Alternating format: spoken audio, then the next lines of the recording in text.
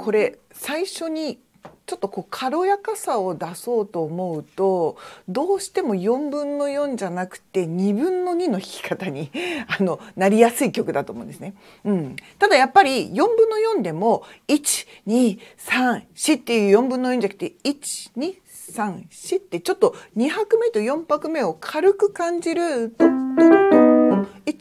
123の4分の4拍子だと思うんですね。あんまり重い4分の4拍子じゃないと思うんですね、うん、ところがもしこれを2分の2で弾くとすると「やっぱららラントラドントロ」みその意識とシソのその意識がほとんどこうなくなっちゃうような感じで弾くと、うん、大きく2拍子の感覚になるんですけども、うん、やっぱりこれが2分の2で書かれているのか4分の4で書かれているのかっていう、うん、ここがねちょっとしたあのなんていうかな変化の変化を感じるところなんで、うん、2分の2にならないようにテンポのこう生かし方で曲奏が変わるなってあのとても思いました。うん、それからえーと、よく見ていただくと最初のポンポラのミの音と次のこのシーソの音っていうのはスタッカート書いてあるんですけども次のティロンティロンっていうのははスタカットないんですね。うん、なのであのちょほんのちょっとでいいんで最初はもうちょっとこうあのダンスしてるあの面白さっていうのかな、うん、なんかちょっとワクワク感でで次の「ティロンティロン」抜くんですけども全然重くはしないですけどもその最初とちょっと切り方をあの変えていくといいかなと思いますね。これねちょっと面白いこと言いますけどねこれ「タッタラランタッタララ」ちょっと弾いてください。それに対して今度、えっと、2段目弾いてください。う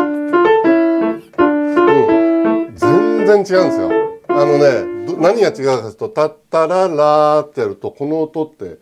和音で言うとここに書いといたんですけどね、1度からね、5度なんだけどね、第5音が半音上がる、この、いわゆる、えっ、と、こういうオギュメントコードっつってね、ドキッとする音なんですよ。ところがこっちはね2度からデーモールって、まあ、もし考えるとね単なる1度のあの5度の1点なんですよ。でも考えてみると「たったらら」っていうふうにただこのファの音がミに下がってるだけミの音がレのシャープに半音下がってるだけなのにこれが調整によって全然違うってことですよ。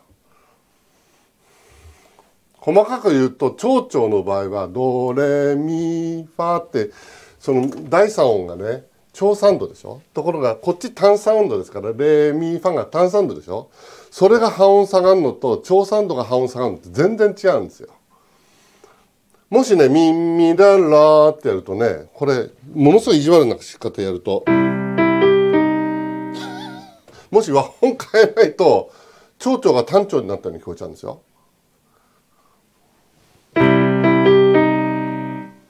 でもそれをえっと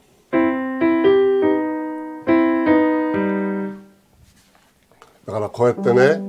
音はたったこれしかないんですけどちゃんとこの和音の違いをですねこれ絶対考えて作ってますね。